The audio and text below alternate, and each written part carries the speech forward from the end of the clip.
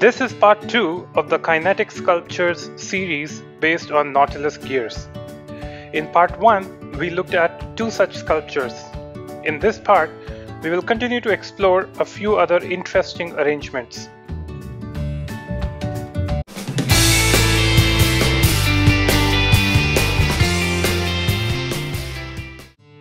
The actuation and mounting scheme that I have been using did not appear very scalable.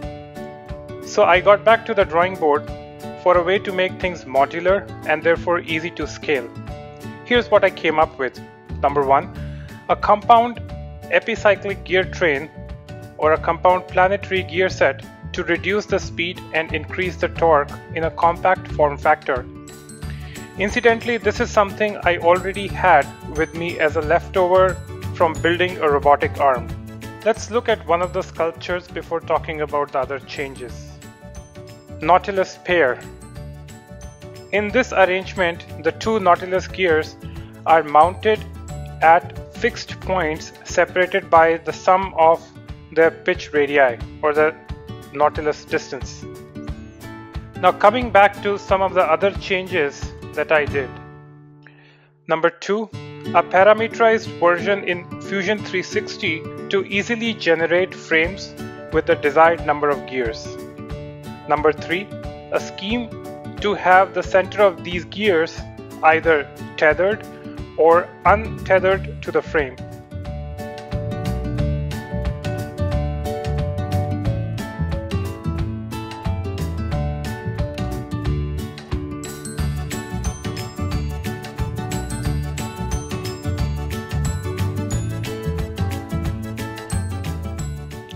Nautilus Triad.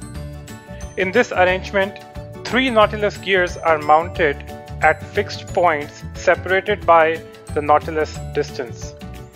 The center gear is the driving gear and the remaining two are the driven gears. The angle between the centers of the driving and the driven gears is 180 degrees.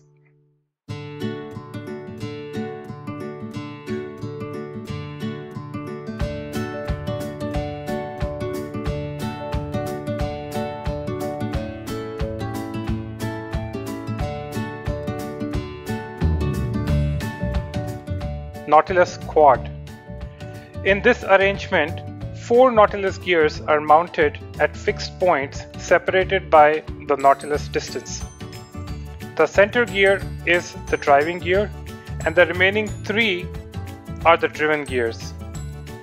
The angle between the centers of the driving and the driven gears is 120 degrees.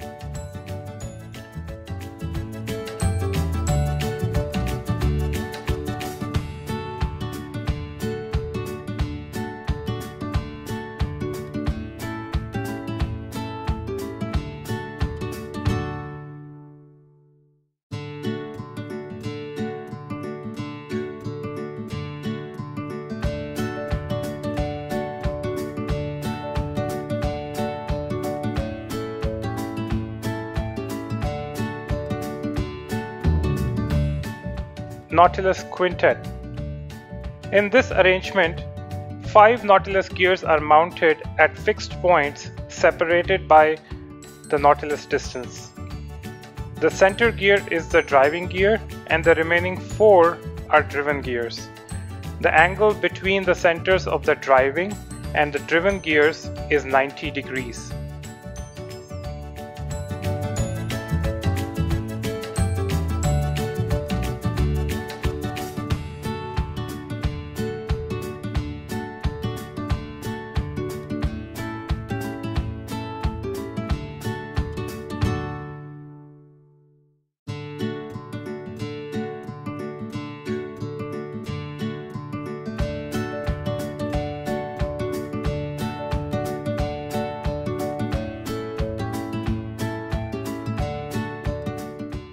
Nautilus Snowflake.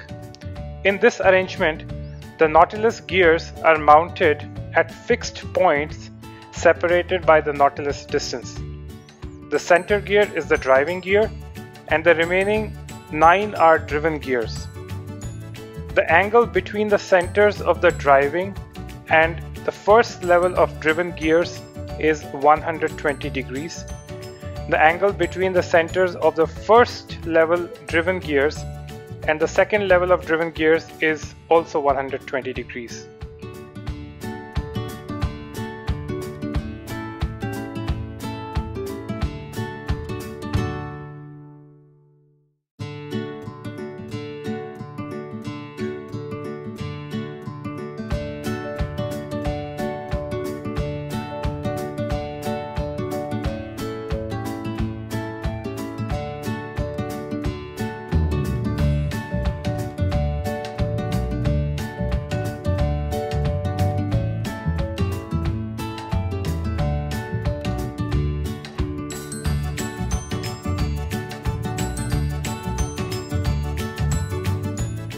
Nautilus Bloom.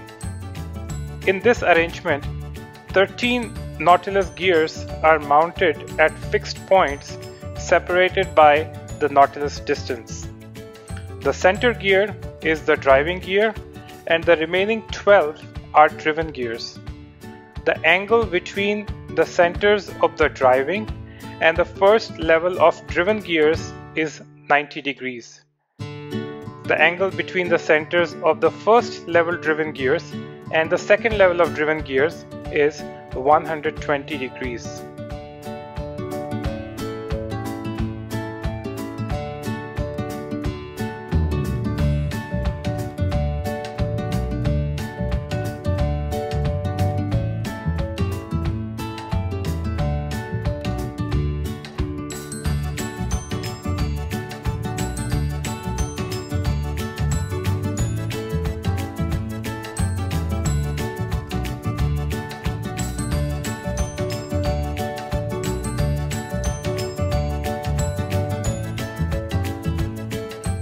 Nautilus butterfly. In this arrangement, three Nautilus gears are mounted around the driving gear. The driving gear is the top gear and all the gears are separated by the Nautilus distance. The center for the driving gear is fixed while the centers for the driven gears are untethered.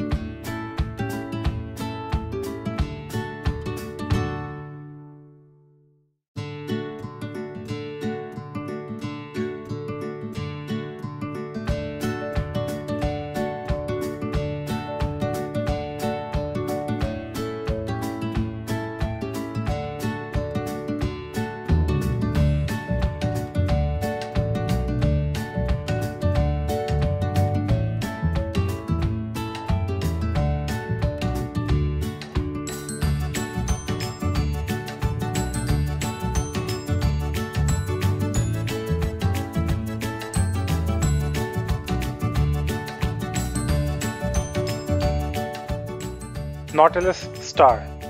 In this arrangement, five Nautilus gears are mounted around the driving gear, which is to the left of the picture. All the gears are separated by the Nautilus distance. The center for the gears on the left and right are fixed, while the centers of the remaining four driven gears, two on the top and two at the bottom, are untethered. Alright, I guess that's all for now. Feel free to leave comments if you would like to give some feedback. Ciao for now, keep exploring and keep learning.